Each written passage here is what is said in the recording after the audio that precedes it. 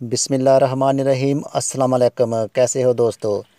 दोस्तों, अगर आप भी गुड़ वाले चावल खाना पसंद करते हैं तो आपने बिल्कुल सही जगह पर क्लिक किया है। आज मैं आपको बताऊँगा कि ये गुड़ वाले चावल बहुत ही आसान तरीके से आप इसे कैसे बना सकते हैं।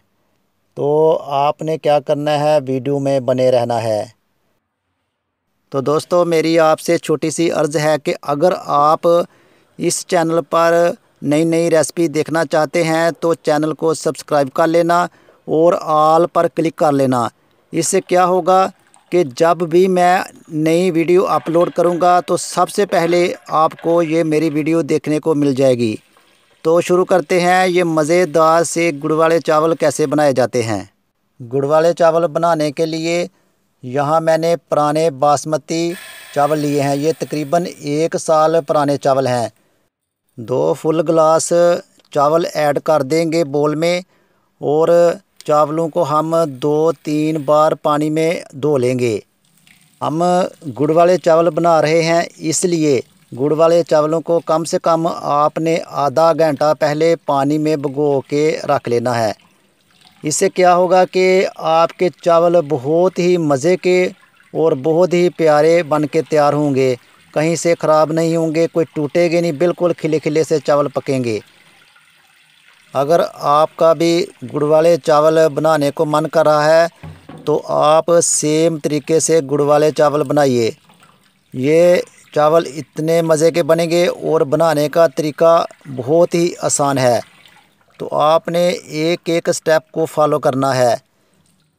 तो दोस्तों, तीन बार मैंने पानी डाल के चावलों को अच्छी तरह धो लिया है।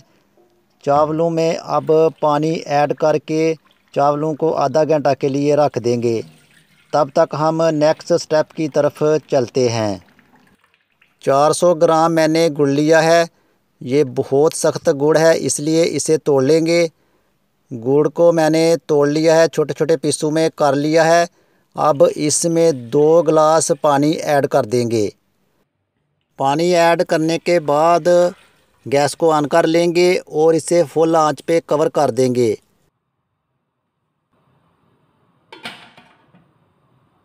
तो तकरीबन चार पाँच मिनट हो चुके हैं। तो आप देख सकते हैं, गुड़ हमारा बिल्कुल पानी में हल हो चुका है, आप देख सकते हैं। थोड़ा सा ऐसे आपने इसे चम्मच से चेक कर लेना है। तो आप देख सकते हैं, टोटल ही हमारा जो गुड़ है, गुल चुका है। अब हम चूल्हे को बंद कर देंगे और गुड़ वाले पानी को इस तरह आपने छान लेना है। एक छानने की मदद से इस तरह आप छान लेना है, क्योंकि इसमें थोड़ा बहुत कचरा होता है, वो कचरा जो है ना, बाहर निकल जाएगा। तो आप देख सकते हैं, इतना सा कचरा है, बिल्कुल ज़्यादा तो नहीं है, लेकिन फिर भी आप इसे छान लीजिए। पानी को छानने के बाद पतीले में आधा कप ऑयल शामिल कर देंगे और गैस को ऑन करके हल्का सा ऑयल को गर्म कर लेंगे। ऑयल हमारा जो ही हल्का सा गर्म हो जाएगा, अब हम इसमें ड्राई फ्रूट शामिल कर लेंगे। आप अपनी मर्ज़ी के हिसाब से कोई भी ड्राई फ्रूट इस्तेमाल कर सकते हैं। मैंने यहाँ थोड़ी सी मूंगफली ली है, थोड़ा सा पिस्ता और थोड़े से काजू और थोड़ी सी किशमिश इस्तेमाल कर रहा हूँ। अब इन ड्राई फ्रूट को ऑयल में शामिल करके हम इसे तकरीबन हल्की सी आँच पे इसे पकाएँगे, आधा या एक मिनट तक पकाएँगे। इससे ज़्यादा आपने बिल्कुल नहीं पकाना, बस इतना ही आपने पकाना है। तो तकरीबन आधा या एक मिनट तक मैंने इन तमाम ड्राई फ्रूटों को पका लिया है।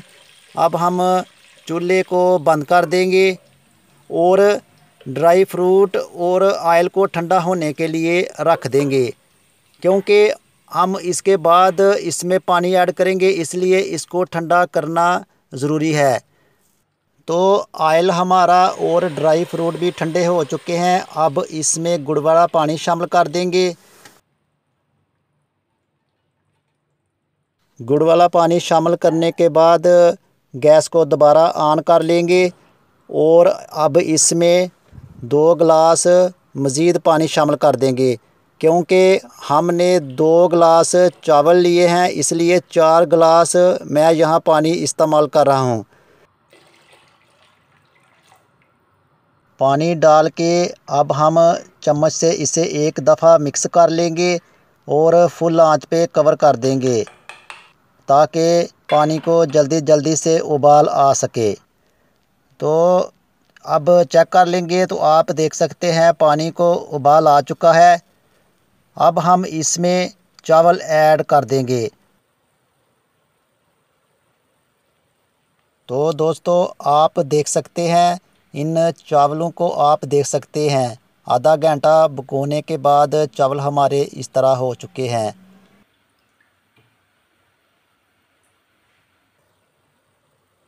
चावलों को पानी में ऐड कर देंगे।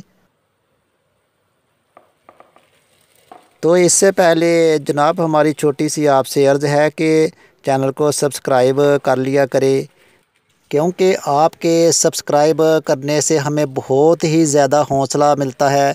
हमारी बहुत ही ज़्यादा हौसला अफजाई होती है।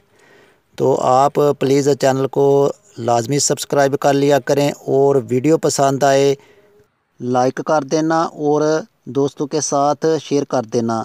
चावल ऐड करके हम एक दफ़ा चम्मच की मदद से इसे मिक्स कर लेंगे। चावलों को मिक्स करने के बाद मीडियम आँच पे इसे पाँच छः मिनट तक के लिए पकने के लिए रख देंगे। तो दोस्तों, तकरीबन पाँच छः मिनट हो चुके हैं।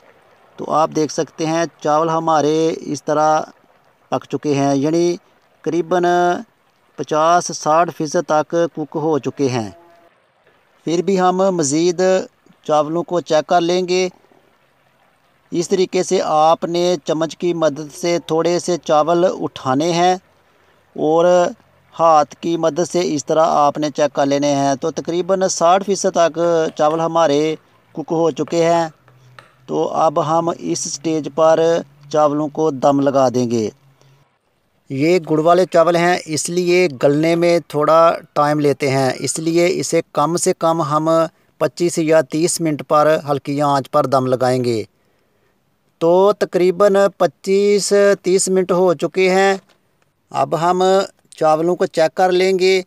इस तरीके से आपने चम्मच से थोड़े से चावल उठाने हैं और हाथ से इस तरह से आपने चेक कर लेने हैं। तो आप देख सकते हैं, चावल हमारे पक के तैयार हो चुके हैं। गैस को बंद कर देंगे और गुड़ वाले चावलों को प्लेट में ऐड कर देंगे। तो फाइनली माशाल्लाह दोस्तों, आप देख सकते हैं, गुड़ वाले चावल हमारे बन के तैयार हो चुके हैं। इस तरीके से आप बनाएँगे तो आपके चावल बहुत ही मज़े के बनेंगे। तो दोस्तों, इसी के साथ मोहम्मद सरवर को दीजिए इजाज़त। मिलते हैं कोई और ज़बरदस्त न्यू रेसिपी के साथ। अल्लाह हाफिज़।